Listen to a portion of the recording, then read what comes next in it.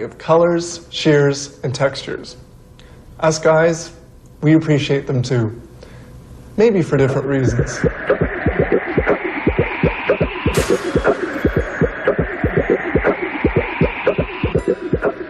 Making a nylon stocking takes only a few minutes. However, it's a complex operation that involves the knitting of five to eight threads as fine as a hair.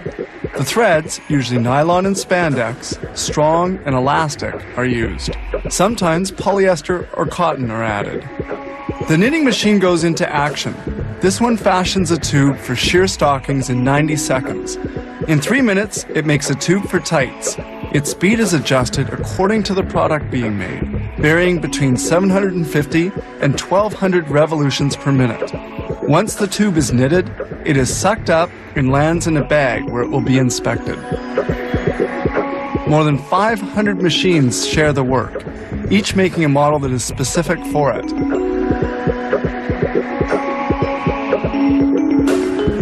The two ends must now be joined. This automated machine assembles the two tubes together to form the pantyhose.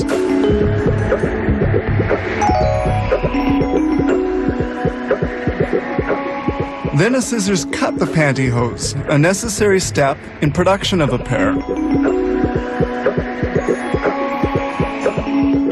This opening is enlarged to allow for sewing, which will join the two tubes at the point of the panty.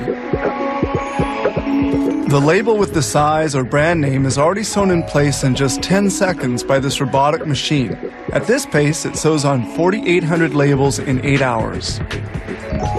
Installing a gusset requires some preparation. A scissors makes a hole at the joining point. Then the stocking is turned inside out by suction so that certain stitching can be done on the inside. Thus, these stitches will be less visible.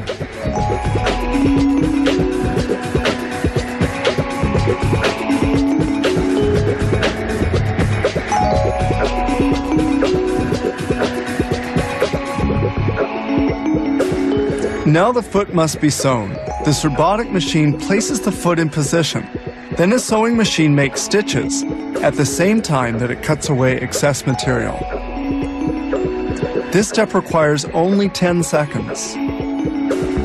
Then the pantyhose is turned right side out, again using suction.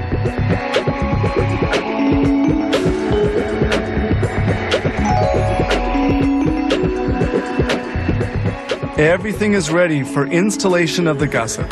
The pantyhose is placed in a tub and taken to this department.